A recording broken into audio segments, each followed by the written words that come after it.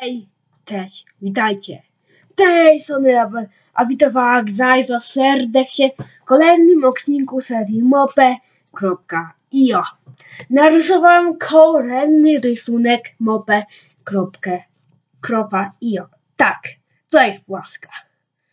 Miejsce was może być zdziwiony, bo stwierdzić płaskę jak niesamowicie trudna do narysowania. A jakiego względu? No popatrzcie na ten rysunek. Tak prosto, szybko zrobić taką sobie tutaj, tak? I te zęby. No to proste. Ale popatrzcie jak, jakim to jest kolorem. Ma taki strasznie kolor glinawy, ta płaska mopę. Musiałam zajrzeć się po kształtach, jak zrobić taki kolor, ale jak po to, jak po to mam tylko kredki, mam też inne.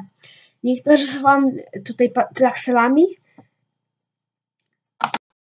no bo po prostu taki ochcieniu kres, y, kredka nie ma takiego ochcieniu. Niech tak się ta płaska prezentuje. Napiszcie komentarzu koniecznie, um, jaki rysunek narysować w kolejnym odcinku. I tak się ona tutaj prezentuje. Rysowałam ją dosyć długo, gdzieś chyba półtorej godziny.